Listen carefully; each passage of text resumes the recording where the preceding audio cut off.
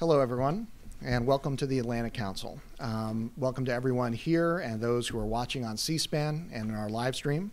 My name is William Wechsler, and I lead the Atlantic Council's work on the Middle East. I'm delighted to welcome you here today to an event co-hosted by our Scowcroft Center for Strategy and Security and our Global Business and Economics Program's Economic Sanctions Initiative. This event is on the record and uh, please tweet if uh, you are so inclined, and if so, please use the hashtag shaping sanctions. Um, today, we are here, of course, to learn more about Hezbollah and its finances. Um, Hezbollah is one of the most sophisticated terrorist organizations in the world and a key destabilizing factor in the Middle East. Iran is Hezbollah's primary patron and has reportedly provides a terrorist or, uh, group with hundreds of millions of dollars annually. Um, this money has advanced the Iranian agenda of undermining Lebanon's political system and its delicate sectarian balance, challenging the role of the Lebanese armed forces as the sole legitimate protector of the country's security, providing on demand proxy ground forces for uh, Iran's war in Syria, um, maintaining a top tier terrorist capabilities in the region and really throughout the globe, and directly threatening Israel. But in addition to its direct financing from Tehran, Hezbollah has built its own worldwide network of financiers, front companies, and operatives that facilitate the procurement of weapons and dual use goods for its activities, um, again, in Lebanon and around the world. Uh, moreover, some senior Hezbollah members have facilitated and engaged directly in illicit activities. Um, that bring the group and themselves uh, uh, additional revenues, including narcotics trafficking and practically every kind of uh, global crime. In his remarks that we're going to hear today, Marshall Billingslea, the Assistant Secretary of the Treasury for Terrorist Financing, will address how the Trump administration's maximum pressure campaign against Iran has targeted Hezbollah's global business operations, including its, both its direct transfers from Iran and its independent global illicit activities.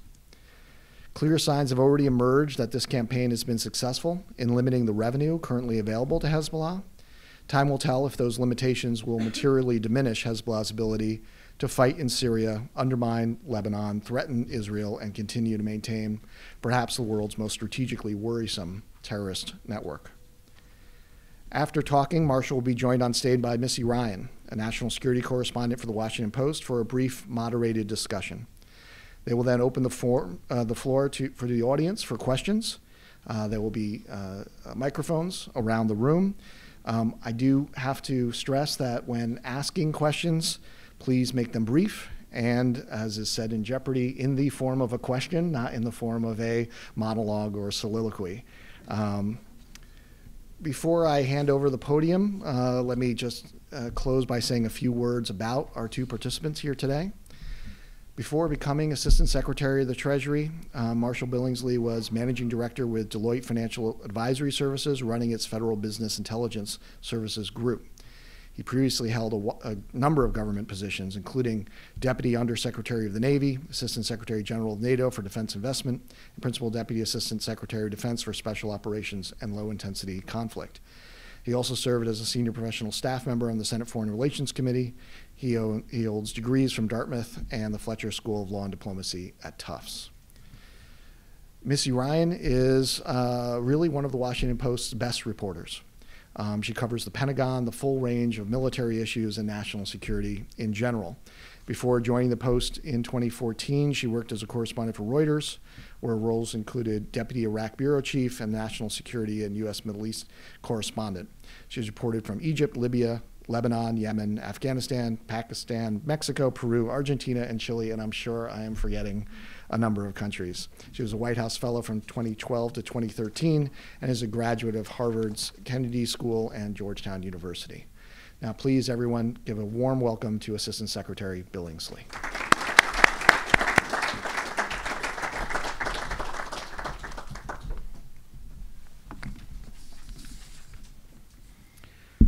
Good morning. Thanks, Will, for those kind words. Ambassador, good to see you.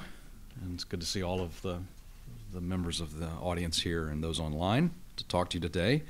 Thank you to the Atlantic Council for hosting this event. And Missy, thank you to you for moderating. Uh, I'm pleased to return here today to the Atlantic Council to discuss one of our nation's most critical national security challenges, and this is the illicit financial networks that sustain Iran and its proxy Hezbollah. The Treasury Department, alongside our interagency colleagues, has been the tip of the spear in advancing the administration's maximum pressure campaign against Iran and disrupting support to a wide range of terrorist organizations. This mission is at the heart of our work in the Treasury, and it is central, as I said, to this administration's efforts to secure our homeland, to promote peace in the Middle East, and given the fact that Iran and Hezbollah mount globe spanning plots to ultimately protect the safety of all people around the world. I had the heart wrenching experience this past summer in July to attend the 25th anniversary memorial of Iran and Hezbollah's bombing of a Jewish cultural center in Buenos Aires. I raise this because the sinister symbiosis between Iran and its proxy Hezbollah finds no clearer expression than the AMIA bombing in Argentina. Perpetrated by a Hezbollah suicide bomber at Iran's direction and with Iran's support, that particular massacre took the lives of 85 innocent civilians and wounded hundreds more. Again, this was a Jewish cultural center that they attacked. It followed a similar bombing just two years earlier in Buenos Aires against the Israeli embassy that killed 29 and injured many others. These attacks were not singular events, they were not anomalies. Rather, they exemplify the evil that Iran and Hezbollah stand for. Since then, plot after plot, some successful, some not, demonstrate their continued intent to shed innocent blood as they seek regional domination and influence. As a case in point, Iran and Hezbollah together have backed the Assad regime in Syria as it has slaughtered hundreds of thousands of civilians and displaced millions more, including many now displaced into Lebanon itself. And that illustrates the length to which they will go to further their nefarious aims. First, I'm going to talk a little bit about what we're doing to cripple the Iranian support network. Iran's economy bankrolls its aggression. That is why Treasury is actively targeting Iran's key industries to drive a realization by Iran's supreme leader that economic collapse is inevitable if Iran does not stop its sponsorship of terror and its proliferation activities and return to the negotiating table. We are focusing in particular on oil, which is Iran's primary source of funds, as well as other areas, including banking, petrochemicals, shipping, and crucially, metals steel, aluminum, copper, and so forth. All of these sectors help benefit Iran's Revolutionary Guard Corps, its Quds Force, which of course ultimately is the patron of Hezbollah. A central element of our work involves identifying and dismantling the international networks that are illicitly supplying the regime and its proxies with revenue. In recent days, you have seen us focus on a joint Iranian Hezbollah oil for terror shipping network, which we have targeted now three times under our terrorism authorities and with other actions in tandem with the Department of Justice, Homeland Security, the Federal Bureau of Investigation, and the Department of State. We did this first in November of 2018 and twice within the past two weeks. This network alone has illicitly sold more than half a billion dollars worth of Iranian crude just this year, predominantly again to the brutal Assad regime in Syria. This network is operating at the Quds Force commander Qasem Soleimani's direction. It is a network of 37 publicly identified individuals and entities and vessels, which in turn is actually operated by Hezbollah members on behalf of Soleimani and the QF. And it relies upon layers and layers of intermediaries to ultimately obfuscate the role of the Quds Force in this scheme. It is this nexus of terrorism and oil that drives our continued pursuit in recent days of the vessel Adrian Darya 1, formerly the Grace 1, which is among the latest of Iran's evasion efforts. As our sanctions, legal actions, and related efforts against this vessel and its captain show, we will relentlessly pursue those who undertake or assist such efforts. It is also important to stress unambiguously that Iran lied to the United Kingdom and Gibraltar, promising the Adrian Darya would not go to Syria. But that's precisely what it did. Releasing the Adrian Darya and its cargo from Gibraltar was an expensive mistake. It risks putting more than $100 million into the coffers of the Quds Force and Hezbollah. This is something that never should have happened. Our allies should not need reminding that Iran cannot be trusted. But perhaps, just maybe, this experience will be remembered in the future. Of course, it is not just Iran's oil sector that is funding terror. Such conduct also goes to the very heart of its financial apparatus. The United States has exposed three times in the past year how senior officials at Iran's central bank, the banker of the Iranian government, and ostensibly the supervisor of Iranian banks, actually facilitate financial transactions to the benefit of both the Quds Force and Hezbollah. Central to such schemes is the widespread use of deceptive practices to obscure who the true participants are, the beneficiaries are, and the ultimate purposes of the banking activity is. These illicit means include misusing banks and exchange houses, operating opaque procurement networks, many, many front companies and shell companies, and of course, as I've just mentioned, exploitation of commercial shipping. In working to degrade Iran's ability to fund terror, the Trump administration has designated, let me be very clear, the Trump administration has designated more than a thousand individuals and entities using a range of terrorism, WMD, human rights, and government of Iran focused activities. We're also working to prevent and disrupt this activity through diplomatic engagement, private sector consultation, a wide range of industry advisories, information sharing, and all of the things that my office does that you don't necessarily see splashed on the front page. Our efforts are having an impact, clearly, leaving Iran with scarce funds to spend in its perfidious pursuits. Consider the following indicators. The IMF has predicted that Iran's GDP will now shrink by at least 6% in 2019. Since April of 2018, the Iranian rial has lost more than half of its value sinking to a historic low, in fact, in September of this past year. Our call on importers of Iranian oil to refrain from contravening our sanctions has resulted in Iran's oil exports falling to, depending on estimates you believe, around 500,000 barrels per day as of August, according to a wide range of, of estimates. That's compared to the peak production of 2.5 million barrels per day following the JCPOA agreement. The Iranian parliament itself has acknowledged that Iran's oil sector will shrink by at least 18% this year. Foreign direct investment and business activity within Iran has all but evaporated as the risks for the private sector continue to grow. Over 100 financial firms have cut all ties with Iran, and that includes SWIFT, which is the Society for Worldwide Interbank Financial Telecommunication. Iran's largest commercial airline, Mahan Air, has been banned from landing in the UK, France, and Germany, and multiple other jurisdictions. The consequences for Iran continue to mount, and they will do so for as long as the regime maintains its current course. I'll now turn to talking about how this all relates to targeting Hezbollah's illicit networks. As a result of the pressure that we are applying to Iran, Hezbollah is also feeling the squeeze. Hezbollah fighters have been furloughed or assigned to the reserves where they earn far lower salaries. Media employees have been laid off.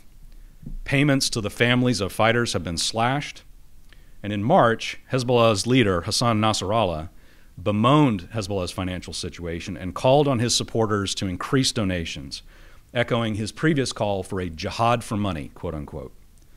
Nasrallah has since increased his exploitation of charitable donations diverting that funding to pay for militants, as well as relying on political coercion and intimidation of bankers and the central bank itself in Lebanon to squeeze Lebanon's financial sector for money. In fact, we designated one of his thugs, Amin Sherri, who was a Hezbollah member of parliament, and Nasrallah's point man for physically threatening the bankers of Lebanon. Amin Sherri, and I'll talk a little bit about this in a minute. Amin Sherri was the point man for orchestrating Hezbollah's use of a bank in Lebanon, which we have now sanctioned and is entering into liquidation. But I'll come back to that. Hezbollah receives the bulk of its funding from Iran, of course, as mentioned. Actually, we thought probably around $700 million a year in its heyday following the JCPOA and the pallets of cash that were delivered to the Iranians under the previous administration. That, of course, has been greatly reduced in this day and age. But draining Iran's revenue alone is not going to simply deplete Hezbollah's coffers. Hezbollah supplements its income by using businessmen to operate a wide range of companies to gain political relationships, to gain favored contracts, and even monopolies in prominent sectors. As one example, one of the most egregious examples, a key Hezbollah financier who has now been designated, as is his son, Mohammed Bazi, exploited his political connection with the now deposed Gambian dictator Yahya Jammeh. Through human trafficking and the supplying of underage girls that he would personally select out of the Syrian refugee camps, Bazi built a global network that spans Europe, the Middle East, and Africa, all to Hezbollah's benefit, and negotiated key concessions in the Gambia to gain a monopoly over the supply of electricity and oil to that country. But Hezbollah benefits in this manner from a wide range of other international criminal schemes. It includes money laundering, it includes drug trafficking, it includes counterfeiting. This is the party of God that engages in these activities. And these networks are operated by Hezbollah supporters, sympathizers, and members, and this is undeniable.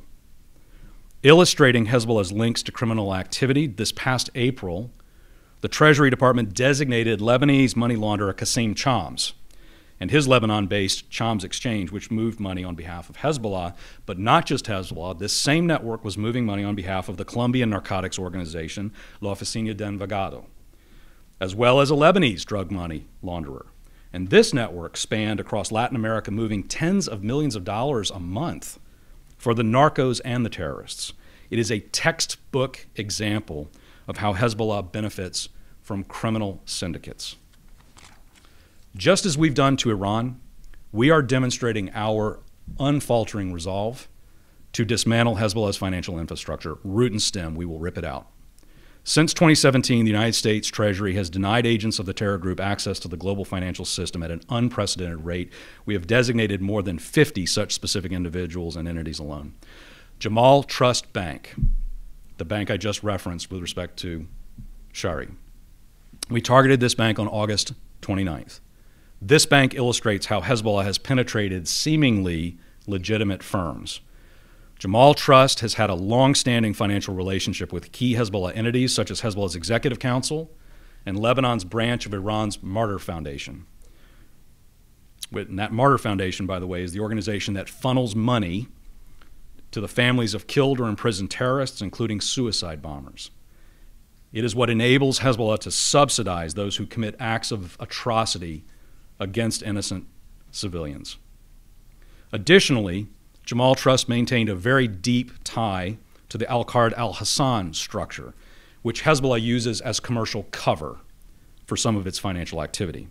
In fact, all senior officials from Al Qard al Hassan had to do was walk through the front door and identify themselves as affiliated as such, and that allowed them to then open personal bank accounts through which they conducted Hezbollah business. Jamal Trust Bank's downfall was not brought about by a simple lapse of AML CFT standards. No way. They knew their customer, and it was Hezbollah. This action sends a signal that providing financial services to Hezbollah will put an entire business at risk. For too long, Hezbollah and complicit companies like Jamal Trust Bank have prioritized the terrorist agenda of Iran at the expense of the Lebanese Shia community. Jamal Trust Bank broke Lebanon's own laws and violated the public's trust. And we expect Lebanese authorities to ensure that there are consequences for this, starting, as I mentioned, with immediate liquidation of the bank and ending with a full range of civil and criminal consequences. One final point on Hezbollah. We are also using long existing authorities in new ways, particularly in partnership with our Department of State. Here I'm talking about the Rewards for Justice program. By incentivizing people to come forward with information regarding Hezbollah's financial mechanisms, we have received tips from across the world. Leads are now coming in from South America, West Africa, and Lebanon itself. We recently expanded the RFJ program to elicit tips on the Quds Force oil smuggling network I discussed. Let me use this opportunity to send another clear message to the private sector. If you give us information that leads to the financial disruption of Hezbollah, we will reward you for it. We will pay as much as $10 million, in fact, for such leads. We encourage people to come forward and take advantage of this offer. What I'll now do is pivot quickly to a discussion on international cooperation and engagement because the United States is by no means alone in this effort. We enjoy the support of a broad range of actions by friends and allies across the world. As I finished our U.S. presidency of the Financial Action Task Force over the past year, this gave us another opportunity to galvanize the international community. At the plenary this past June in Orlando, the FATF, for the first time, reimposed a financial countermeasure on Iran, calling on all jurisdictions in a mandatory fashion to require increased supervisory examination for branches and subsidiaries of Iranian banks. And the FATF also agreed to reimpose two additional countermeasures this October if Iran still has not done what it promised to do more than three and a half years ago. They lied, and they have not performed what they promised to do and that is ratification of the Palermo and the TF conventions. And if they, in fact, have not done so by the time the FATF meets, I fully expect that enhanced reporting mechanisms and increased audit requirements for Iranian branches and subsidiaries will be required by the FATF. Now, these actions seem very technocratic, and they are. But in the banking world, what I'm talking about here translates into real costs. It also raises the stake for Iranian banks whose illicit activities invariably will be discovered through intensified regulatory scrutiny. Our joint ac actions, our collaborative efforts, leveraging the intelligence community, law enforcement, policy communities, have clearly demonstrated a coordinated approach by this administration to Hezbollah. But as I mentioned, we're also working very, very closely with allies. In May of 2018, for example, the Terrorist Financing Targeting Center, which is located in Riyadh and comprised of all of the members of the Gulf uh, Coordination Council. Saudi Arabia is the host. But Bahrain, Kuwait, Oman, Qatar, and the UAE, together with us, all of us together, designated Hezbollah's senior leadership, including members of Hezbollah Shura Council, as terrorists. Together with our Gulf partners, we designated Hassan Nasrallah as such. We're also greatly encouraged by steps that are occurring in the United Kingdom, the Netherlands, Kosovo, Paraguay, Argentina, all of whom have explicitly prescribed Hezbollah as a terrorist organization and have done away with this complete fiction that there is a military or political wing. This is a fiction that even Nasrallah rejects. Again, we're gratified, and now we must use these authorities that have been announced in these various countries to concretely disrupt Hezbollah operations. So, together with our partners, we have taken major steps towards depriving Iran and Hezbollah of the funds they need. But preventing another AMIA bombing, another Burgas, another Syria, requires the resolve of the entire international community. And we do call upon the international community to see, based on clear evidence that we continue to present, that purchasing Iranian oil funds terror, funds group like the IR, groups like the IRGC, groups like the Quds Force, and Hezbollah itself. Opposing terrorism means not funding it, including by not buying Iranian oil, full stop. To this end, we must and we will continue our aggressive campaign of sanctions actions to disrupt illicit Iranian and Hezbollah activity. As Nasrallah has said, and I quote, as long as Iran has money, we have money, unquote. We heard him loud and clear. Today, as a result of our efforts, both parties have a lot less. Less, however, is still not enough. We at Treasury, in tandem with the rest of our government and our international partners, will relentlessly deprive these terrorists and their sponsors of the funds they need to shed innocent blood. Of course, terrorists and their patrons will always try to find new ways to fund their malign activities, but we can and we must identify these schemes and stop them in their tracks. Terrorists will try to slip past our sanctions, but we can and we must preserve the effectiveness of these critical tools. Terrorists will always need funding, and we can and we must criminalize such conduct and punish those who engage in terrorist financing to keep the international community safe. Again, I greatly appreciate Deputy Assistant Secretary uh, Wechsler uh, uh, for hosting me here at the Atlantic Council. It's great to be back with this team, with this community. I appreciate the opportunity to speak with Missy and to the audience, and I welcome your questions. Thank you. Thank you.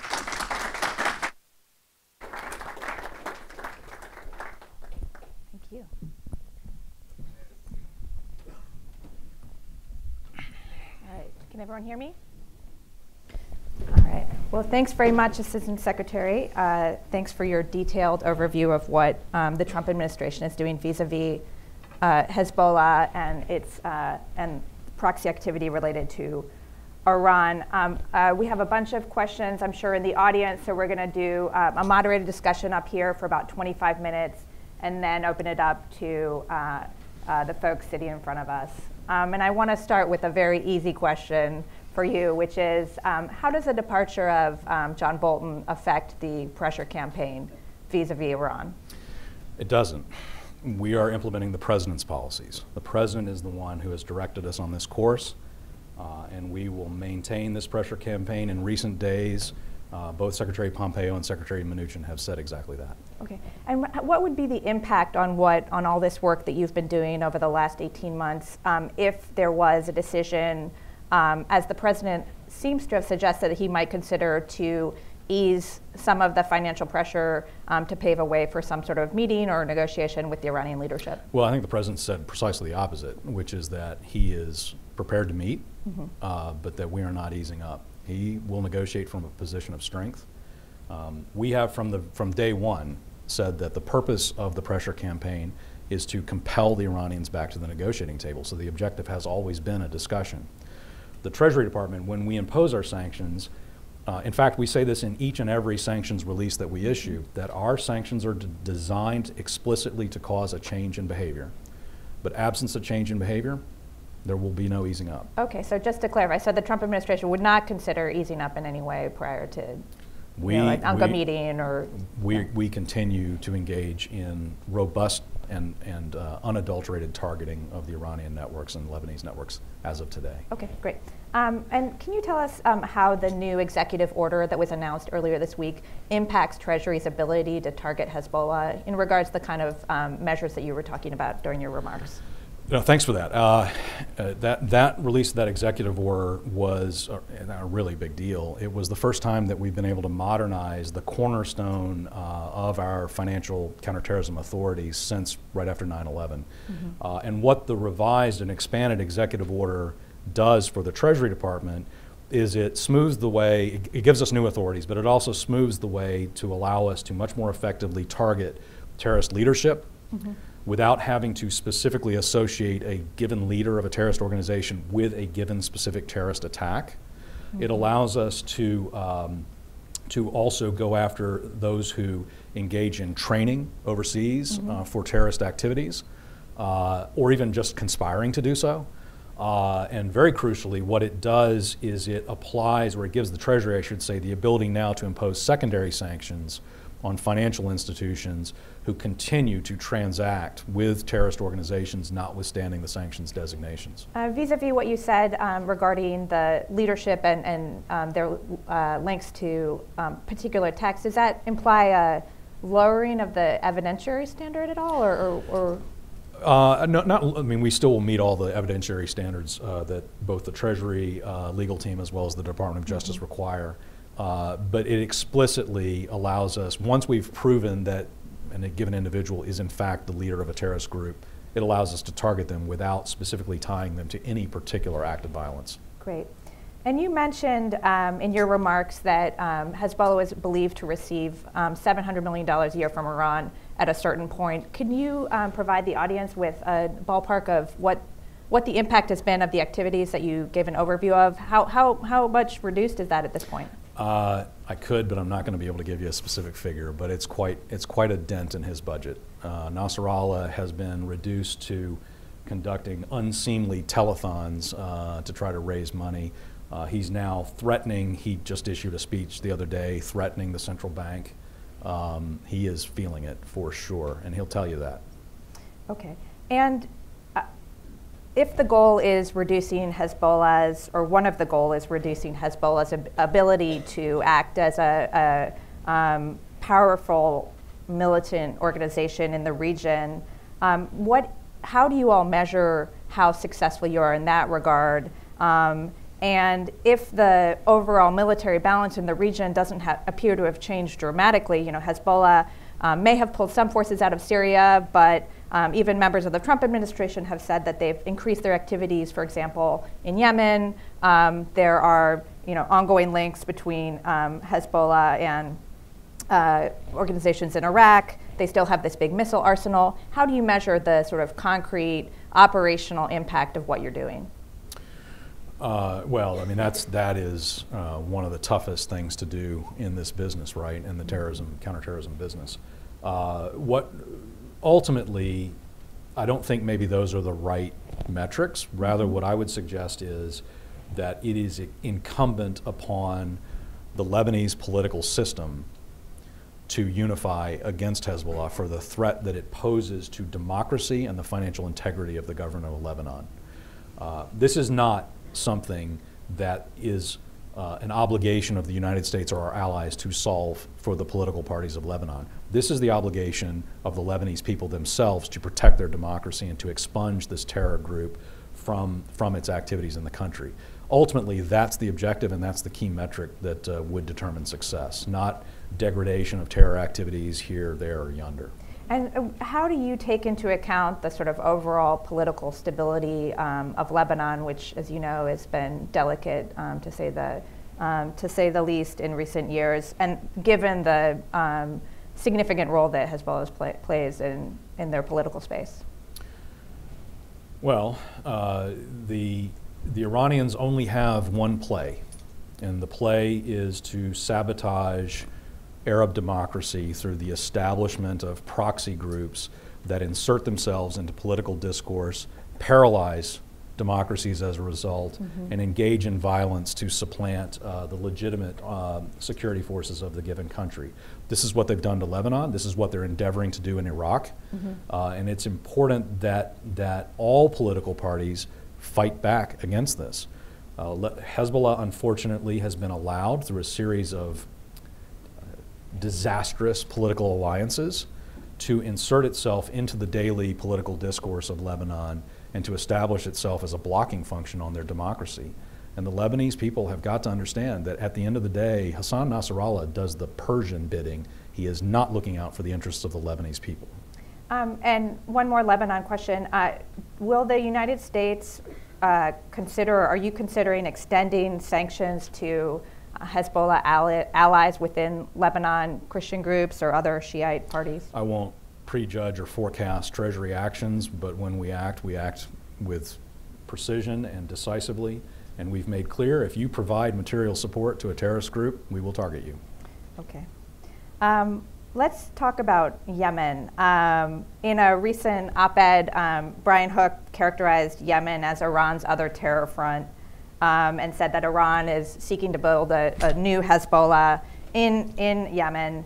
Um, uh, at the same time, there is a hope that the United Nations will be able to broker a peace agreement um, sometime soon to staunch the um, the humanitarian losses in Yemen, which is really which is now the world's worst humanitarian crisis. And and I, I think there's an acknowledgement by everyone that the Houthis will have to play some role in the political transition um, within Yemen. How are you thinking about um, the Houthis as um, what you know the Trump administration describes as another proxy actor of the Iranian government, and then the need to deal with them, the international community, and potentially the United States directly, um, to get Yemen to a better place? I mean, that, that's an excellent question. There are a lot of strands to that, and the vast majority of those should properly be answered by the Department of State what I can tell you is that the contribution that the Treasury is making to the crisis in Yemen is along several lines. One is that we have, I mentioned the, the, uh, the TFTC, the Terrorist uh, Financing Targeting mm-hmm. Center, which uh, was the result of a uh, summit meeting that President Trump had early in the administration where all of the Gulf nations agreed to join together. Through the TFTC in Riyadh, we have designated multiple different terror actors in Yemen including ISIS Yemen, Al Qaeda on the Arabian Peninsula. Right. Uh, and the linkage, there are linkages there, uh, uh, both for and against the the uh, the fighting with the Houthis. Um, we also have very, uh, we've engaged in a series of efforts to degrade the way the Houthis are receiving funds and material support by the Quds Force. Mm-hmm. I won't go further into that. finally, uh, one of the often overlooked roles that that my office plays is we support central banks around the world, and we're working very, very closely with the courageous central bank of of Yemen, who ultimately had to flee Sana'a and uh, relocate to Aden. Uh, so we, we work and meet with them quite often to provide support to them, together with the Federal Reserve and others. But do you think it would be a potential impediment to the, the hoped for peace process, which hasn't gotten very far, to designate Houthi leaders? Uh, If they engage in activities which are sanctionable under existing authorities, they, they should beware, absolutely. But I want to be very careful about uh, casting some broad uh, net uh, regarding a, a very definable ethnic group. Um, just a, a quick question on the uh, terrorist financing targeting center. Um, to what extent has the uh, Gulf crisis affected the operations there? Well, it really hasn't helped. And, you know, we really urge all of the Gulf nations to, to find a way forward together. We are very appreciative that the Saudi hosts um, have been very flexible on this uh, and have uh, enabled the work of the TFTC uh, with Qatar uh, to continue on a collegial basis. There have been a number of, of designations, joint designations uh, that have been issued by the entire group, as well as parts. Uh, in fact, one of the most recent actions we took against Hamas uh, financiers operating out of Turkey was in partnership with Oman. Uh, but we organized all of that through the TFTC. So it is, it is functioning, um, but we would like to, to move past the Gulf dispute. Okay. I'd like to talk about Syria a little bit more. Um, you mentioned um, the role of Hezbollah fighters in Syria. Can you provide any more detail about how the um, the sanctions and the financial uh, measures that, that you discussed are affecting that their role, um, and to what extent is that changing because of those actions? And it may be difficult to um, to distinguish these two things. Um, to what extent is the Hezbollah role changing in Syria because of the American pressure versus, you know, the war being at a very different stage now? Well, I, the, the issue when you have the kind of budget shortfall that Nasrallah is now facing is he's having to make some pretty tough decisions on where to cut. Uh, and one of the places that he's cutting is in his ability to, to fund uh, such a large number of, of fighting forces uh, globally. So he is cutting back, and we are seeing manifestations of that. He's, of course, prioritized uh, funding the families of, of dead terrorists, and he wants to continue to make that a central uh, part of his budget. So, uh, as the costs there continue to grow, his budget shortfall will, will be further exacerbated. Is, has, have you seen anything, um, uh, anyone stepping in to fill the void that um, you know the departure of some, at least some Hezbollah forces from Syria, um, has created in terms of I don't know additional um, Quds Force forces or Iraqi um, Shiite militias, or is this just something now that, um, as the Assad regime consolidates its control of much of the country, is being now taken on by by Syrian forces? That you, that's a question the Department of Defense would have to answer. What I will tell you, however, is sometimes it's, it's a bit overlooked, but we in the Treasury continue our campaign to deny Assad finances. Uh, and we've taken action uh, in recent days against a, a network that he was using, including in the UAE, uh, to raise funds and move funds. And that campaign continues unabated. Okay. I'd like to ask you about Iraq. Um, you know, the United States government has designated and uh, sanctioned a number of Iraqi militias. At the same time, many of those groups are tightly linked to um, the Iraqi government, which is a close American ally, and um, form part of the Iraqi security forces. Um, how did, what's your approach to dealing with those political realities? And um, you know, I think the the tension that exists for the Iraqis that um, they uh, consider the American um, government um, may be a primary security ally, but Iran has deep cultural, social, religious ties and will be their neighbor forever. How, how, what's your approach to that? Well, the Iraqis certainly are a victim of geography in that respect. Uh, we have a good relationship. I have a good relationship with my Iraqi counterparts, uh, with the finance minister, with the central bank governor. Uh, they understand everything the United States does to assist the functioning of their economy. Uh, and we will continue to insist that when we uh, implement designations on those who facilitate QF or IRGC or uh, Hezbollah or other terrorist proxy uh, finances that, uh, that we, we, we, it's not a negotiation, we expect unequivocally that those sanctions will be honored and implemented. As you may know, we have designated Aras Habib and Al Balad Bank, which was at the time the third largest bank in Iraq, for exactly these kinds of activities. And we expect, just as the case with Jamal Trust Bank, that those accounts stay frozen and that the, the bank be liquidated in an orderly process that's consistent with international standards. Uh, but we've shown in that case that we will not hesitate to act, uh, even against a large financial institution with a politically connected member of parliament. And the Iraqi government is complying with that? Uh, we, yes, uh, but it's an ongoing topic uh, where we continue to make our view crystal clear.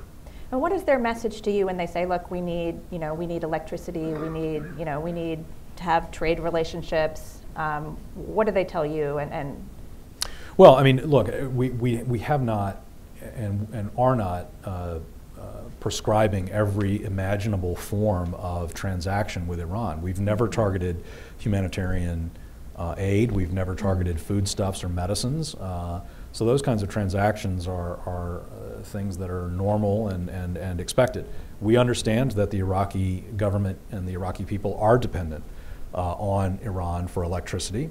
And we have, I think, arrived at a, at a good outcome on, on, uh, on the proper way to handle that.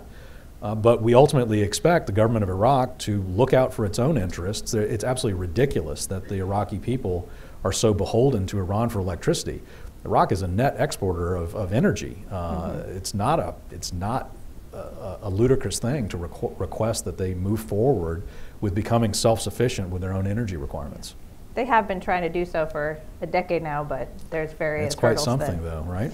Um, what is the response that you get from, or can, can you tell us a little bit about the interactions with your European allies um, on these issues and, and um, what is the conversation like when you're trying to make sure that the measures that the United States hopes are taken vis-a-vis Iranian companies and or um, uh, entities um, as they relate to Europe? Right. Well, so it's impossible to to uh, characterize a single uh, set of interactions with quote unquote Europe. Europe is a, a pretty diverse mm-hmm. place with a lot of different uh, uh perspectives on the matter. We uh, have a number of NATO allies who completely understand our security concerns, acknowledge that the Iranians are, in fact, a terrorist regime, acknowledge that the Ministry uh, of Intelligence, the MOIS, has conducted assassinations on European soil uh, in the most horrific ways, uh, and who are supporting us. Uh, uh, on a lot of these measures. We have excellent intelligence cooperation with our NATO allies and, and partners. Mm-hmm. Uh, we do have a difference of opinion uh, with some, but by no means all, of the Europeans on uh, the right uh, way forward on the dip- diplomatic front. Right. Um, but we'll continue to work together because at the end of the day, uh, I'm here at the Atlantic Council, and transatlantic right. unity is something that, uh, that we really do strive for. Is there any way to characterize for the audience the extent to which, um, again, uh, a diverse group of countries and, and, um, and, and, circumstances that, um, that European countries are abiding with and supporting and executing the, the steps that the United States would like them to take vis-a-vis the Iranian pressure? Well, so uh, the vast majority of European countries, it wasn't actually a, a tough call for many of them because most of their big industries had taken a look at the Iranian market after the JCPOA and decided that it just it's not it, the reason Iran has so many problems with the FATF is that it is a it is a non-transparent, highly corrupt business environment in Iran. And most of the European, the big European players had already decided that it wasn't worth the candle. Uh, so talking to those companies about the fact that, and we we uh, engaged, you know, the president was very clear on his view on the JCPOA from day one. Mm-hmm. Even so, we gave all of these companies six months to wind down any particular business activities that they had, and pretty much they all have done so.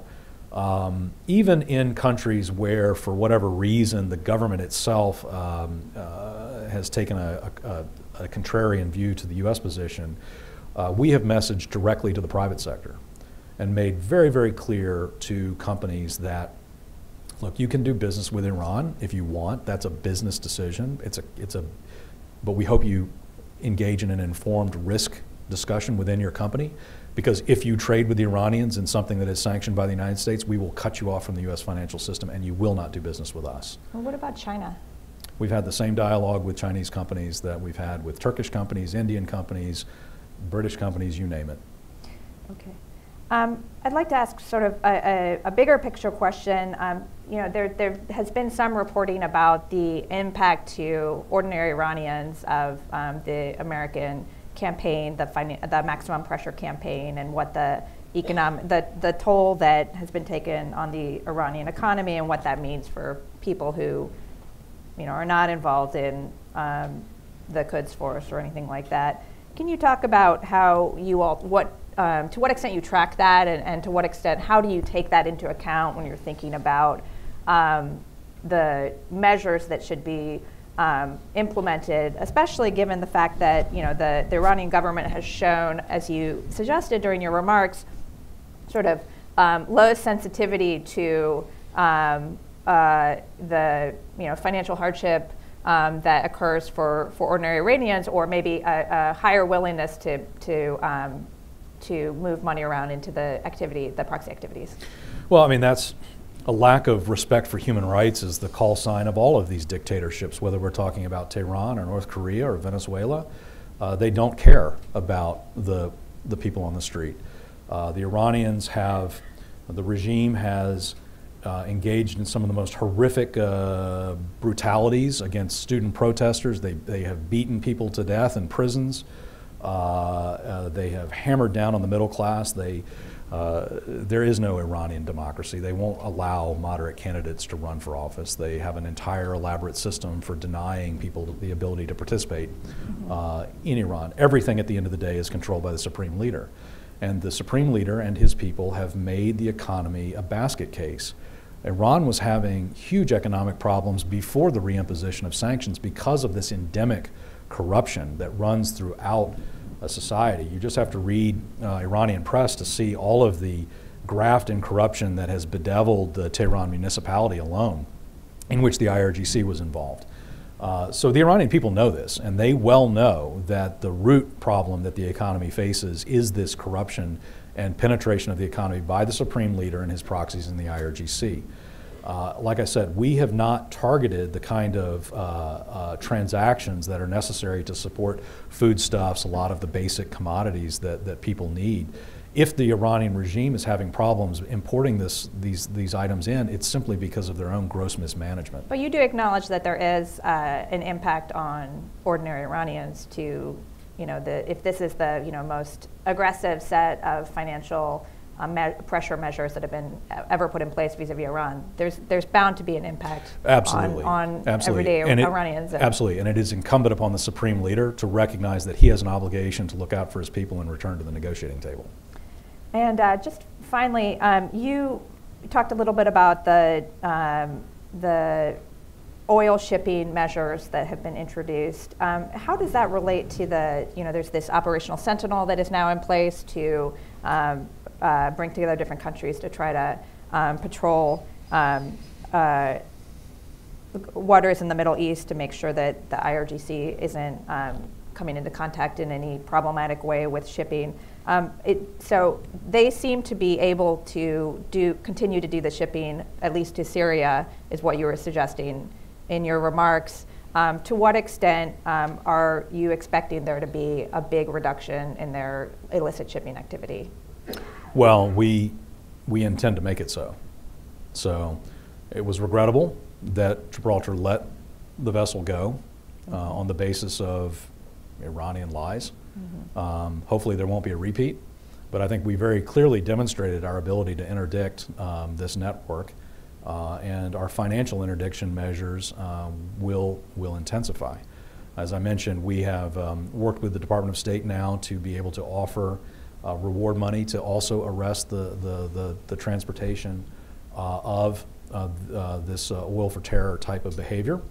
On top of that, uh, we've also in recent days, I mentioned that we engage with industry. One of the things we've done recently is issue a circular to industry, again cautioning the shipping industry to beware of the kinds of fabrications and misrepresentations and obfuscations in which the Iranians engage as they operate this network. It is, uh, it is important that the shipping industry take a, take a, learn a lesson from our designation of the Medi Group, which was uh, the Indian-based uh, front company structure that was used to operate a lot of these Hezbollah-managed vessels.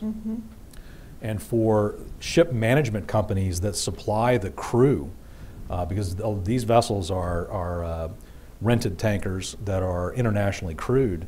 And I think uh, these ship management companies have got to understand that if you don't conduct proper due diligence into who's really behind this shipment, and you put a captain on a vessel and a crew on a vessel that violates EU sanctions laws when it comes to Syria, that violates US sanctions laws, there will be consequences. Just one final, very quick question before I open it up. Open it up. To what extent are they? Um, are you seeing them move uh, some of these now um, affected um, economic activities into other, you know, other uh, other countries or other organizations? Because I imagine they can do that to some extent. And how quickly can you guys respond? Um, they are doing that. Uh, they have uh, uh, tried to relocate a lot of their sanctions evasion activities um, into jurisdictions uh, uh, far away. Uh, we follow them closely.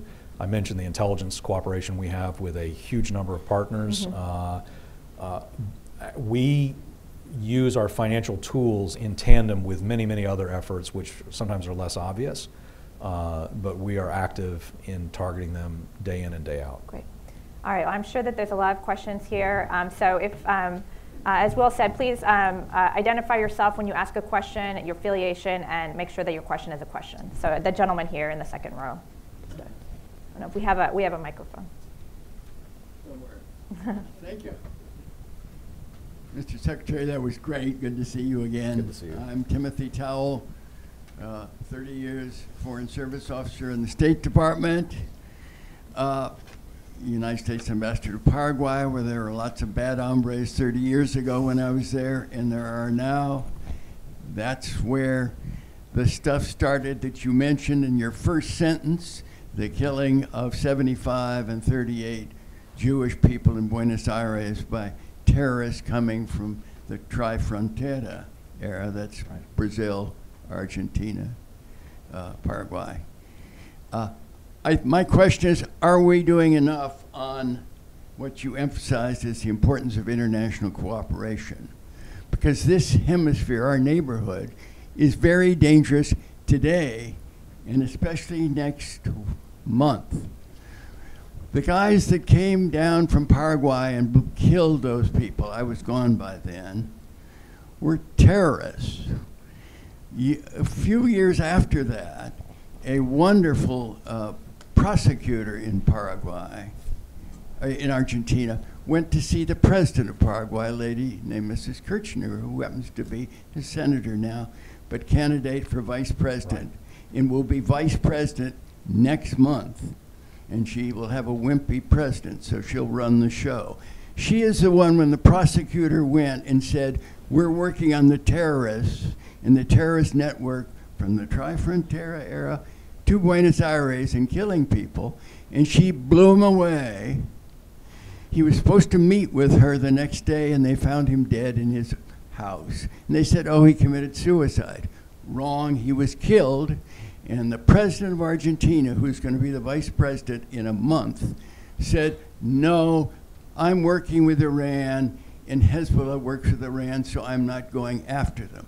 Pompeo was great. He was there a week, uh, a month ago. Argentina and Paraguay call him terrorists now. Calling somebody a terrorist doesn't do it. You got to go down and do something. Why don't people get down and make sure that that senator, a killer, is not going to be the next Peronist leader in that wonderful country of Argentina? So thanks for that question, Ambassador. Um, you know, the first question you had there, are we doing en- enough? In fighting terrorism, you can never do enough. Um, there's always more that must be done. Uh, I am. I was with Secretary Pompeo uh, there at the commemoration ceremony. Uh, it was actually at a series of meetings that he had with counterparts from across the region that the President Macri uh, issued a presidential decree, which, by the way, does a lot more than just call Hezbollah a terrorist group. It actually gives the Financial Intelligence Unit the ability to reach in and block financial assets associated with Hezbollah operatives. And they've actually done so. They've targeted a number of, specifically the AMIA uh, bombing uh, individuals. I'm not even going to call them suspects because they were clearly involved. Uh, but they've also uh, been working with us on additional targets. Paraguay, uh, the country where you ably led our diplomatic uh, representation in the past, has also now followed suit. And we are working with them to round out the financial dimensions to the presidential decree that they have issued. Likewise, we're in active discussions across the hemisphere uh, with Brazil uh, because they play a key role in clamping down on the use of the tri-border area for Hezbollah financing. Um, in recent days, this doesn't necessarily get a lot of attention, but there has been an excellent degree of cooperation between the three nations in disrupting the Barakat clan, which is a Hezbollah business operation in the tri-border area, and actually getting some of those individuals not just arrested but extradited uh, to the United States, to Argentina, and other places. So that the cooperation in the region is, is good. It's intensifying. We obviously are following the, uh, the Argentinian election closely. Uh, and, uh, and we'll continue to work away at this. But we do, Latin America is turning against Hezbollah, albeit slowly, but inevitably. Hezbollah will find that Latin America is a denied area to them because of the violence they've practiced. Panama alone, we caught them surveilling the canal, right? So it would be very helpful for some of these, uh, these governments to go ahead and designate this group for what it is, as a terrorist organization. I think we had a question here in the first, in the front row. Uh, yes, hi, uh, Joyce Karam with the National. Thanks, Missy. Uh, thanks, uh, Mr. Billingslea. Um, I have two quick questions. One, um, you know, there was a report two days ago that uh, the president is flirting with the French pro- uh, proposal to give Iran uh, the $15 billion credit line uh, if a meeting with Rouhani were to happen.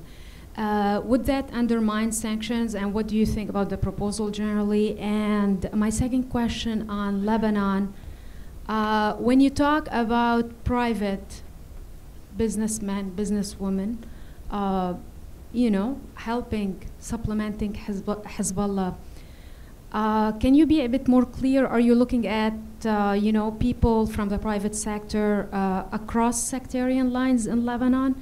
across uh, party lines? Thanks. Thanks. Um, I'll, on the first question, I'll, I'll refer you to the White House, but uh, our, our course remains constant uh, and unchanged in terms of the, the efforts to degrade Iranian finances.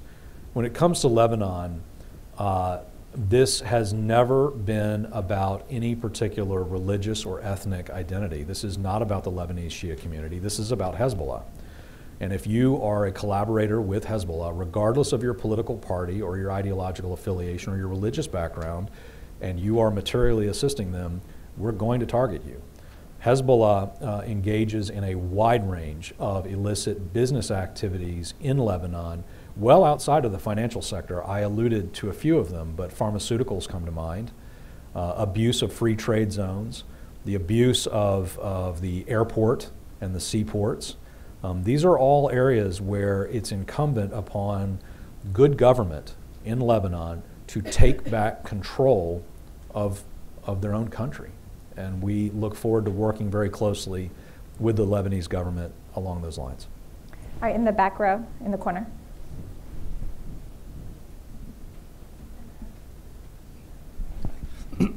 Ian Talley, Wall Street Journal. Good to see you. Um,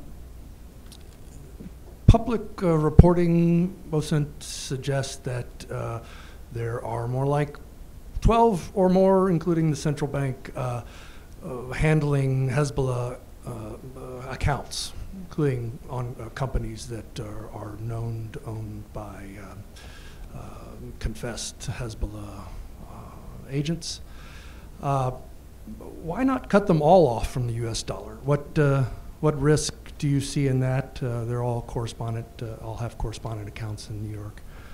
Um, secondly, given the uh, you said 700 million from from um, from Tehran, uh, given the global activity of Hezbollah controlled and contracted um, operations that seem to me run in the billions of dollars globally. Uh, is that number really significant? Uh, I, yeah, we'll leave it at that. Yeah. And can I get 10 million? It's good to see you, Ian. Um, so, so your question was with regard to allegations regarding banks inside Lebanon, I, if, I, if I heard you correctly. So, look, um, it's we, we have to be careful to to be very precise because no bank and no financial system is full foolproof or fail safe. Uh, that's why we have AML CFT regimes that banks have to implement. Uh, I meet routinely with the, uh, the bankers from across Lebanon. I meet with the, uh, the banking, uh, the ABL, the banking uh, organization. I'm, I'm looking forward to actually meeting the new chairman, uh, uh, uh, if he's able to, to make it to DC or if I can see him in Lebanon, who is the chairman of the Bank of Beirut. Um, th- the, the challenge we face is that Hezbollah engages in some pretty sophisticated financial engineering uh, to hide uh, uh, what they're really up to. And it's less uh, about requiring uh, that we catch them at each and every turn and more about making sure that when a bank discovers that they have inadvertently allowed some kind of, uh, uh, uh, of penetration of the financial institution to occur, that they rapidly solve the problem. And that's the way we have to deal with it. This is Lebanon's problem. We have the same issues we work on here in the United States with narcotics traffickers and, and other kinds of, of, of issues. So I think we have to be very mindful of the fact that the international financial system is vulnerable, it is interconnected, and the key, the key barometer is whether a given country's uh, supervisors uh, are able and willing, do they have the political will and do they have the capacity, and can they demonstrate that they're, excuse me, that they are stepping up to the challenge. And I will tell you in the case of Lebanon, we have this confidence. I have a great working relationship with the central bank governor and with his uh, supervisory team. Uh, he is under an enormous amount of pressure. I mentioned the fact that he has been physically threatened by uh, mafia type thugs. Uh, they have also threatened other bankers. They planted a bomb outside of BLOM Bank a few years ago because the bank expunged uh, Hezbollah from its rolls. So we're very mindful of the fact that this is an organization that will assassinate prime ministers, to say nothing of bankers, in Lebanon. That said, when we find a bank like Jamal Trust Bank that brazenly and knowingly colluded with Hezbollah to funnel money, we will not hesitate to ask and to, to act. And the financial consequences are what they are. But at the end of the day, it is very important that the Lebanese people realize that it is Nasrallah and Hezbollah causing this risk to Lebanon, not the United States. It's not billions. It's just not billions. It's, there is additional money on top of what they get from the Iranians. And what we believe is that just as he has gone on his telethons uh, uh, domestically, we, we expect that the call has gone out to his business operatives around the world to generate more funds for him.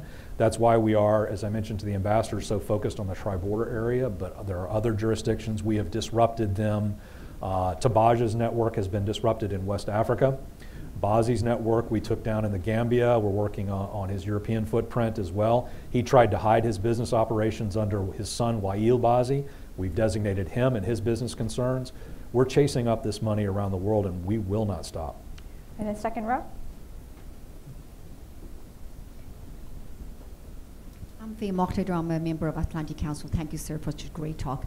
Uh, as an Iranian American, my question to you is, don't you think this uh, maximum pressure policy, in order to be effective, will be if we ease the sanctions and bring the Iranians to the table and somehow renegotiate uh, the JCPOA, uh, this maximum pressure, I can rest assure you that is not very effective on the IRGC and also the Iranian government. It only affects the average Iranian uh, on the streets. And um, we have you know, put sanctions on Iran for the past 40 years, and I can rest assure you that the Iranian government have uh, got a PhD in going around uh, these economic sanctions. So in order to address the Hezbollah, which is a big issue for Americans, and also the Syrian uh, issues, uh, the best, in your expert opinion, would not be to bring the Iranians at the table, renegotiate the JCPOA, and then address these issues that concern the United States? Thank you so much. Well, thank you for the question. I think you and I probably have a difference of opinion on the right way to sequ- sequence things, but uh, the goal has always been to compel the regime to change its behavior and return to the negotiating table, uh, to stop the terrorism, to stop the ballistic missile program, uh, and to agree to a nuclear deal that actually doesn't have such glaring pitfalls or, or blind spots in it as the previous one did, just, just like the sunset clause alone. That's the goal. The goal has always been a change in behavior. That's what we're seeking to achieve. Uh, but until we see that change in behavior, uh, the pressure campaign will continue. All right, the woman in the white blazer in the back, right there. Yeah. Do you need a, a microphone? Okay, Yeah. It's Sada Shadid from LBCI uh, TV from Lebanon. Uh, according to U.S. Uh, policy, uh, uh, sanctions on Hezbollah is justified, but expanding these sanctions to include supporters uh, from uh, Shiite community or from other sects uh, may affect the stability in Lebanon, uh, on which the U.S. is keen on preserving. How does it work? And another question, are there new measures to tighten the sanctions more? Uh, to what extent does the U.S. Uh, believe the sanctions are uh, effective? And the last questions, uh, the Lebanese bank have abided with uh, U.S. measures, but Jamal Trust Bank was blacklisted, and this might shake the banking sy- uh, system. Are there any measures to limit this damage? Let me start with the last question and work backwards if I can remember Okay. all of the questions. Remind me if I forget something.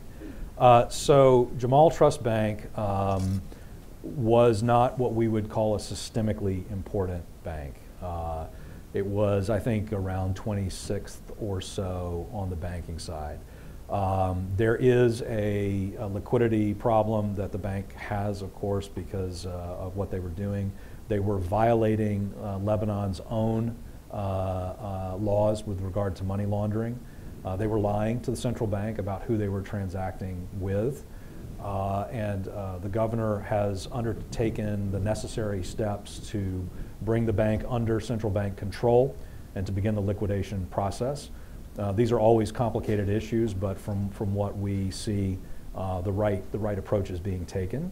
There was uh, innocent money, people that are innocent Shia uh, uh, citizens of the country who had money in that bank, uh, and it is outrageous that the bank, the, the bank managers would jeopardize innocent people's money in this way by taking on all of this other terrorist funding. The, the government of Lebanon understands that there is innocent money tied up in there, and they are moving, I think, in the right way to identify legitimate accounts uh, so that people can, can get their funds back, while at the same time keeping both the bank accounts itself and the Hezbollah money frozen. And that is key. If we see Hezbollah money exiting that bank, we're going to have issues. Um, in terms of the overall uh, uh, political situation in Lebanon, Lebanon is a democracy, and we respect that fact very much. And, and that's the whole point here, is to ensure that the Lebanese people decide uh, uh, who runs the country. Uh, we have excellent working relationships um, with, with the prime minister and the president, as well as I've mentioned, obviously, the financial sector.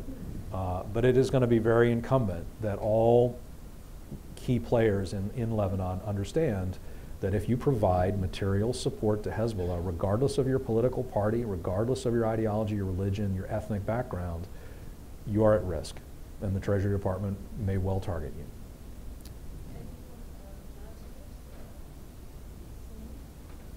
I would not forecast such a thing even if I, even if I could. There's a, the gentleman um, with the blue blazer who's sitting down, yeah, in the, I think, second to last row, yes. Do you want to stand up so they can see where you are? Thanks. Thank you. My name is Bassam Barabandi. I'm from Syria. My question as a Lebanon, if we make Lebanon as not special case, as trend, as model, uh, you were asking the Lebanese government to push back against Hezbollah. and you are supporting the, by sanctioning. My question to you, how you are supporting the Lebanese people to do this, what you are providing them, the parties, the people, and the government, is you cannot just ask them to act. St- We still remember the, uh, Hezbollah and Syrian regime, they killed Rafiq Hariri, they killed Samir Qasir, they killed so many people who were against uh, Iran. And nowadays, the people in their mind, they remember that when they act, they will be killed. And at the same time, uh, they are under pressure from the United States to act. So this is the equation that need to be filled. Other question regarding Hezbollah in Syria. Uh, I think Hezbollah, they have their own financial resources inside Syria. They are subcontracting with the government, they have smuggling, uh, they, they do a lot of things. So how you, you act on this? So it's easy to, to follow them in Paraguay and other parts, but where they are in Syria, they have the money in a way. Right. Thank you. So, I think it's really important to stress that the United States government, the whole of our government, has a uh, deep relationship with the, the government of Lebanon across the full spectrum of, of activities. There's an enormous amount of collaboration and support that the Department of Defense and U.S. Central Command provide to the Lebanese armed forces. Uh, there are a wide range of uh, assistance programs that the United States, uh, the Department of State, and AID have. The World Bank uh, provides a, a number of uh, assistance programs. The entire CEDRE conference uh, that was hosted uh, uh, uh, in Paris uh, to examine additional investment opportunities in water, in electricity, and so on was something uh, robustly supported by the United States. And so we have a close partnership on all of these issues. But we have every expectation that the Lebanese government will expunge this terrorist cancer from its body politic. This is an organization with the blood not just of hundreds of Americans, Argentinians, and others on its hands, but the blood of Lebanese people as well. And so we do expect that we will work together to preclude this terrorist group and to drive them back uh, from where they are today. Are you the first, the front row? Sure. Heba Nasr, Sky News Arabia. Uh, you said that you may sanction the Houthis if they engage. No, I did not say that. You, you may designate the Houthis if they uh, are if they are engaging in activities that are related to terrorism. Yeah, look, I'm very precise here. We don't designate ethnic groups, right? We designate individuals who engage in terroristic behavior. Okay, there are videos for the Houthis raising money for Hezbollah. So, uh, since you are, since Hezbollah is designated as a terrorist organization, and you are going after the Lebanese and the Lebanese sector and the Lebanese government, so you don't think you are putting too much pressure on the Lebanese, and you can go after the people or after the resources for Hezbollah from outside Lebanon? We are going after Hezbollah income outside of Lebanon very actively. Uh, I mentioned West Africa, I mentioned uh, the tri-border area in Paraguay, I mentioned Europe, um, wherever we see it, wherever we find it. Uh, but is there such a thing as too much pressure against terrorism? I would argue there's not. Thank Okay, you. yeah, in the blue blazer, right there, yeah. Alan Dargam from MTV Lebanon. How are you? Good to see you. Uh, so, Assistant Secretary David Schenker last night in a televised uh, interview, he said that he's going to uh, also target names that are allies with Hezbollah, not only for their financial activities with them or giving them support financially, also politically. And also, uh, you met with the delegations, Lebanese delegations, uh, throughout the year, and you give them guarantee that probably Tayyar or like uh, Bassil's uh, political party or Amal will not be targeted. But as the secretary gave another fact uh, last night, technically speaking, is it like political decision will be if they want to put any uh, sanctions on the, on these two groups will be through the State Department or different uh, mechanism or technicality? So I, I want to be very clear. I, I don't I don't give guarantees on anything, right? Uh, there was some speculation uh, that I tamped down. Um, we are not uh, targeting ethnic groups. I just mentioned the Houthis, but we're not targeting the Shia community either. We're targeting Hezbollah and those who enable Hezbollah to perform its, its terror ap- apparatus. I don't care what political party you're from or what ethnic background you have or what religion you have. If you are giving material support to Hezbollah, you are by definition a terrorist in your own right, and you will be targeted by the Department of the Treasury. So I haven't seen uh, Assistant Secretary Schenker's comments, but his office and mine work very, very closely together. And we, of course, follow the Department of State's lead on all of the foreign policy dimensions to this very complicated issue. Uh, and, uh, and I'll leave it at that. Okay, the gentleman in the pink shirt right there in the aisle. Um, hi, my name is Gaurav Singh. I'm with the Center for International Policy. Thank you for your time. Um, you mentioned um, the U.S. aid to the Lebanese armed forces. Um, so U.S. has provided LAF with 1.6 billion dollars plus aid since 2006. Now, there are reports that a significant part of the Lebanese armed forces is comprised of people of a Shiite background who, you know, it's it's not easy to determine where um, where their um, where they pledge their allegiance, whether it's with um, Hezbollah or with the LAF. There are reports that say there are close ties between the two as well. At the same time, Hezbollah is getting a degree of institutional support, whether this is comments from the president saying that they are, quote unquote, they have major and essential role in defense apparatus. Nasrallah also characterized LAF as a partner and pillar, quote unquote. Um, the UN Security Council Resolution 1701 obligates the Lebanese armed forces to disarm all armed groups in Lebanon, which they have at a large degree not not complied with. Now I know this isn't giving material support, but I'd argue that ignoring something as serious as this um, leads to the same same um, effect. Now, if the U.S. is giving the LAF aid with the aim to reduce Hezbollah's relative presence, I'd say largely it hasn't worked. They're, they're gaining presence. Their military is still far ahead of LAF. Now, if this someday my prince will come strategy isn't working, do you believe it is time to start conditioning this aid or to put more checks and balances in the system that can actually counter Hezbollah rather than just providing aid which doesn't really show much like progress? So, you know, you're you're asking a great uh, set of questions. The integrity of the LAF is of the utmost importance, uh, not just to the United States, but to President Aoun as well. And we've discussed this. Uh, and it is important that, uh, that the LAF ensure that uh, there is not penetration uh, of its ranks by Hezbollah or that it's not otherwise uh, colluding or engaging with Hezbollah. And so we, we very much, just as we have the same expectation on the banking side, and the financial system, we have the same expectation uh, with the Lebanese armed forces.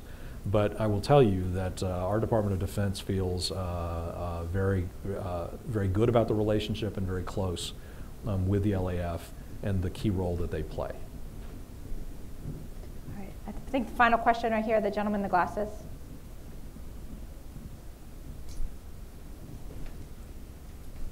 Thanks. Uh, Nick Wadhams with Bloomberg.